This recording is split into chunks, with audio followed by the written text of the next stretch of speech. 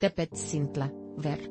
Guión el reportero Rodrigo Acuña Morales, de 40 años de edad, fue agredido a tiros cuando llegaba a su domicilio esta noche, autoridades e incluso la comisión que atiende temas relacionados con integrantes de los medios de comunicación investigan los hechos.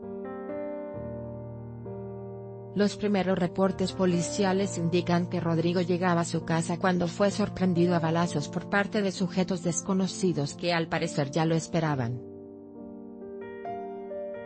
Grupos de rescate de la zona llegaron para apoyarlo y llevarlo a un hospital donde su estado de salud es reportado como delicado. La Comisión Estatal de Atención y Protección a Periodistas, CEAP, enviará una delegación para investigar si el crimen está relacionado con su actividad periodística. Medios locales como Veracruz.mx, afirman que la agresión contra Cuña ocurrió frente a su hijo de un año de edad y que recibió al menos dos disparos uno de ellos a la altura del pulmón lo que complicará su estado de salud en las próximas horas. Acuña Morales trabaja en el medio digital, Diario de Tepetzintla donde cubre la nota roja en municipios como Cerro Azul, Naranjos Amatlán y Tepetzintla.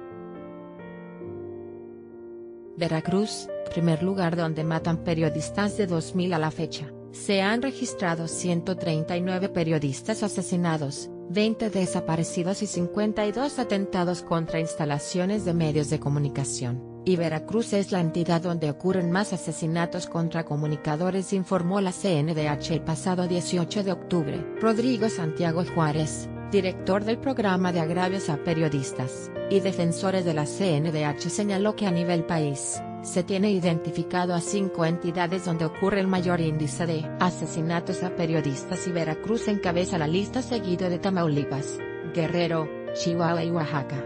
Lamentablemente en estos estados ocurren más del 50% de los homicidios a nivel federal.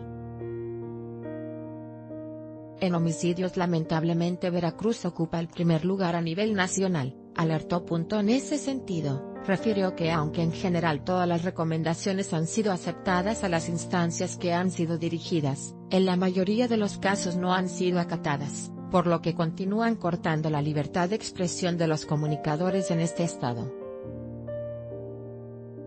Más información en la siguiente nota, Veracruz ocupa el primer lugar con casos de asesinatos a periodistas, CNDH.